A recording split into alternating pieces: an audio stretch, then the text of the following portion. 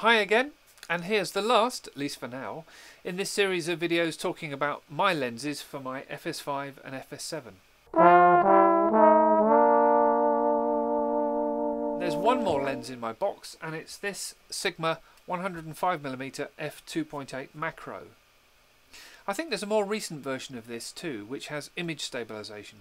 This is the older one without. Now Many lenses include the word macro in their titles and it doesn't mean anything. In any case, you can get macro shots on many lenses just using close-up rings to move the lens away from the sensor and allow it to focus closer.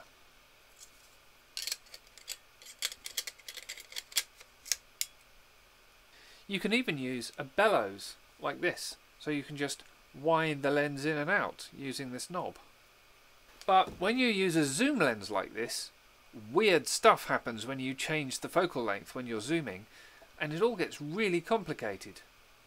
And typically for macro, you're looking down towards your subject too, so a heavy zoom will often creep out under its own weight so that you keep losing the focus. Uh, what was I talking about?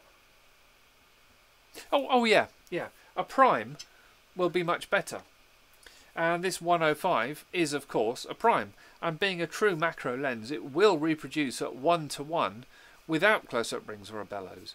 And that's pretty close. 1 to 1 well it means that the image of the subject thrown by the lens onto the camera's sensor the image will be the same size as the subject itself. So I could fill the frame with an average coin or a regular postage stamp and still have the image in sharp focus. And if you do want to go even closer, you can add close-up rings too. Focusing, well, the lens does have autofocus. And on a stills camera, handheld for photographing, say, butterflies or dragonflies, that would be really handy. But adapted on a Sony FS5 or FS7, nah, not so much. I'm more about mammals and birds anyway, and this lens, for me, mostly gets used for filming small mammals, usually in a set. That means a glass fish tank. So I'll be using a tripod, and so image stabilization just isn't needed. And I can focus quickly and accurately manually, using my follow focus if I choose. Often, at this kind of magnification, you'll achieve the coarse focus by actually physically moving the camera towards and away from the subject rather than by twiddling a ring. And then for finer focusing, this one has a focus throw of about 100 degrees, and that's plenty.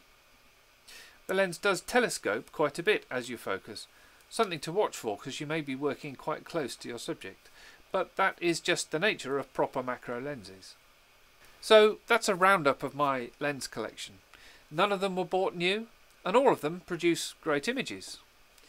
The 150 to 500 Cost me about £600 as I recall, but it's easily earned me many times that while I've had it.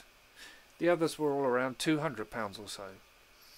Autofocus isn't great on any of them, but that's why I have a follow focus and things like focus peaking on my viewfinders and monitors. And even the best autofocus will sometimes just stubbornly decide to focus on the wrong thing in your frame. I mean, how is it to know after all? When I'm focusing for myself, I may not be as fast or as accurate as the latest autofocusing camera, but at least I usually know which object in the frame to aim for.